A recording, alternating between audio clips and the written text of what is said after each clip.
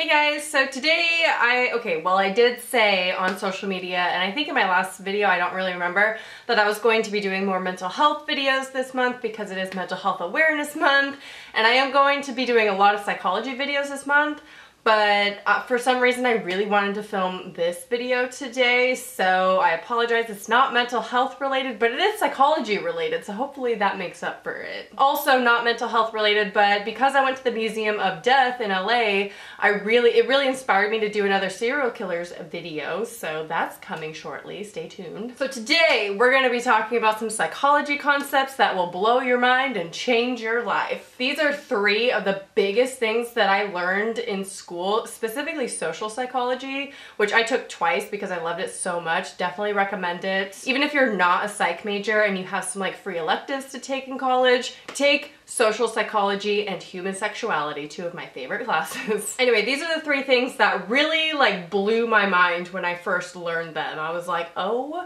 my god, it completely changed the way I looked at people, their behavior, and the world. So the first one we're going to talk about is the biggest one that blew my mind, and that is the fundamental attribution error, otherwise known as the correspondence bias or attribution effect. So this is a psychology phenomenon where we basically explain others' behavior based on internal factors, and we underestimate the external factors that could be going on in the situation. The most common example of this that I like to think about is situations where you're driving because, you know, I get some road rage here and there. It really depends. If they genuinely do something that pisses me off, I'll get some road rage. Otherwise, I'm pretty patient on the road. And probably because of this, because I learned this. So hopefully it'll bring your road rage down a little bit. If someone's driving very poorly on the road or cuts you off or they're speeding really bad or, you know, whatever is pissing you off about this person, your instinct is to call them names, right? You say, wow, they're being an asshole. Look at this dumbass over here. Like that's our instinct, right? To be like,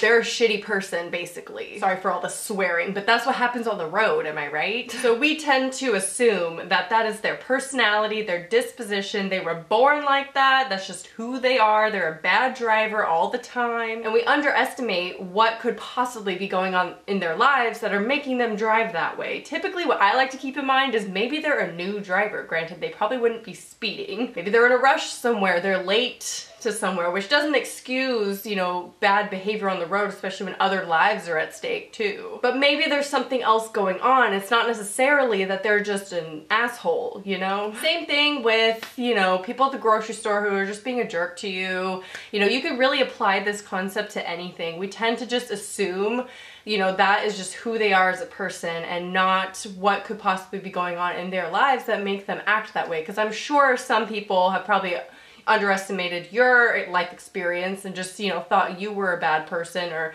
having a bad day and this, I don't know. But we all make this mistake. Our brain just instantly likes to categorize and be like, nope, that's just who they are. So it really makes you look at the world in a different way, especially people and their behavior and just think for a moment before you go into that road rage or whatever situation it could possibly be, before you go there, first and foremost, try to think, you know, they're a human being. They're not just what their behavior is displaying right now. The next one is confirmation bias, which for me, very much comes into play with politics and religion. When we want to believe something, we will often seek out information that confirms it and ignore information that proves it wrong. It's motivated by wishful thinking, and when we want to believe something is true, we will believe it. We'll find a way to believe it. And typically this makes us closed off to new information that could possibly change our minds about something. Specifically politics and religion, which I'm not gonna get too into because that can be kind of controversial, but it does help to explain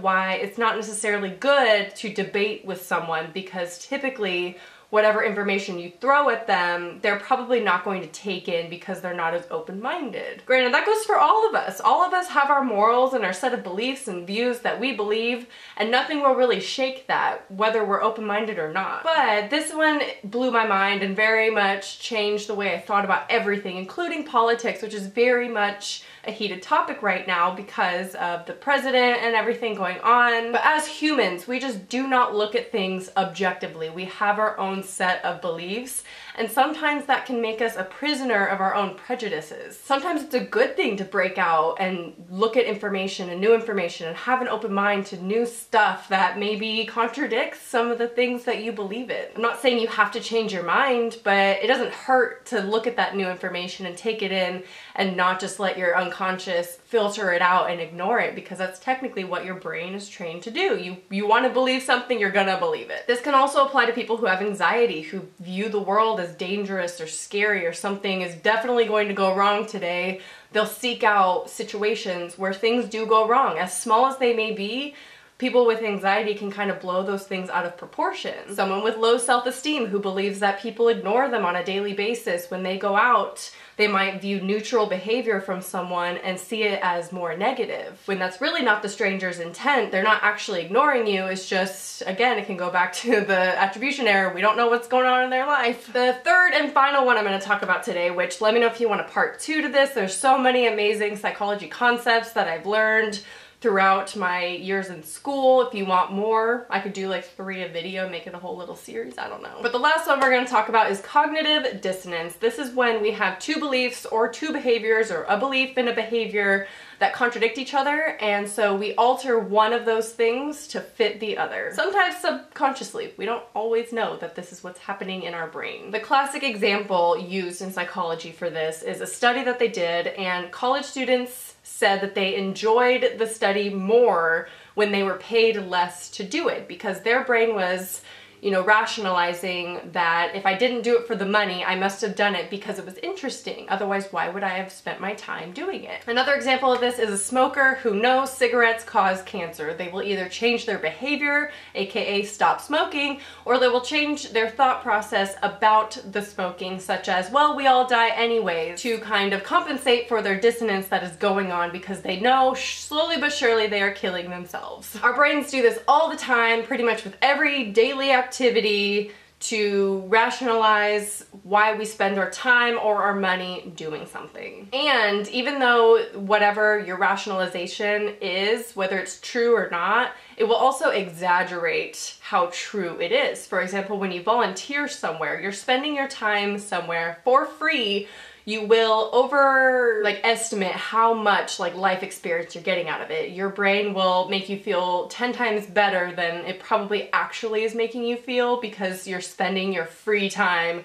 doing it for no reason other than to help someone else out. Nothing wrong with that. Absolutely nothing wrong with that. Whatever your brain needs to do, volunteering is great. Highly recommend it for anyone. Animal shelters, the best. For instance, when I volunteered at a cat shelter, I had to drive pretty far to get there and so every day, this one I did more consciously, I would tell myself, you're doing an amazing thing here, it's so worth it, it's so rewarding, and I did it for over a year. So, I mean, obviously part of me was like, I don't want to drive that far, but because I was doing something so great, I was rationalizing my decision with that thought process. That's a little bit more of an obvious, less negative example, but that is an example. So these are the three things, the biggest ones out of anything that I'm gonna talk about on my channel that blew my mind when I learned these in school and just changed the way I thought about other people and the world, everyone's behavior, and it just makes you look at people differently. Moral of the story, have an open mind to everything, have a more open mind about everyone, and recognize your behavior and your thought process about it. Let me know if you have any other psychology concepts that messed you up or blew your mind or anything like that down below,